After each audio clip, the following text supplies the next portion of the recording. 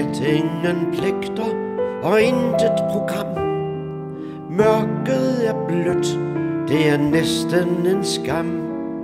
Man skal på hovedet i skakten Og presses ud gennem trakten. Først skærende lys, så det livgivende rap.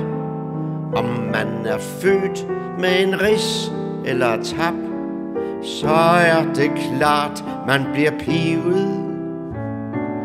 Mødet med starten på livet. Gråden bliver stillet, og man finder trøst. Oppe i barn hos mor ved et bryst.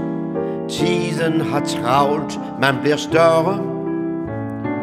Nu går det ud på at spørge Ordene giver livet en ny dimension. Her er en lille selvstændig person. Så kommer skyen for solen. Mødet med pligten og skolen.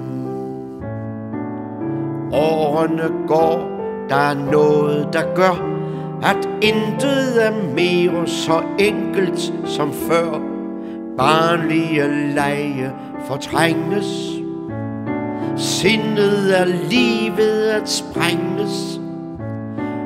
Det får man også forklaringen på, selvom det først er lidt svært at forstå. Bumser og safter, der stiger. Mødet med drømmen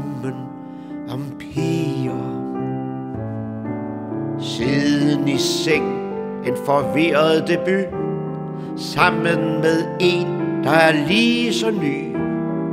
Det bliver en ren åbenbaring, der er en med ro og erfaring puster til gløden og nærer den ild, der gør, at man prøver en hel masse til, inden man lader sig binde.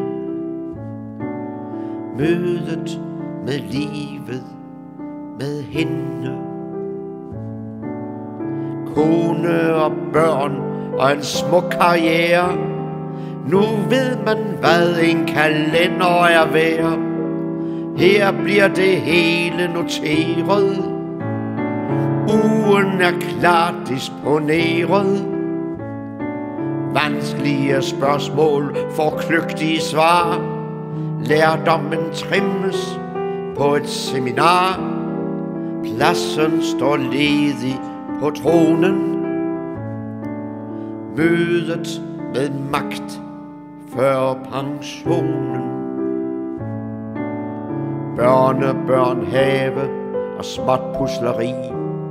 Tempoet daler, og det er fordi, der er jo slidt på maskinen. Man står for enden af linen.